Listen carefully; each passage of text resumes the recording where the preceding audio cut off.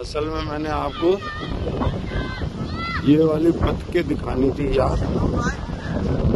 भाई, इन बतखों की जो जीव होती है ना, इन साली की जीव में दांत होते हैं भाई।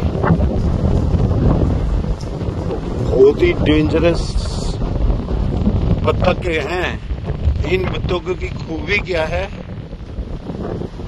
ये बता दूँ, अभी तो ये यहाँ है। अभी ये पानी में भी तैरती हैं और जितना पानी में तैरती हैं, उतना ऊपर आसमान में जितने ऊपर ये चील उड़ रही है शायद दिखाई नहीं देगी हमें। नहीं नहीं दिखाई दे रही। बहुत ऊपर आसमान में भी ये उड़ जाती हैं। और बड़ी लाइन में डिसिप्लिन से उड़ती हैं। और आदमी को खून निकाल देती हैं जो काटती हैं।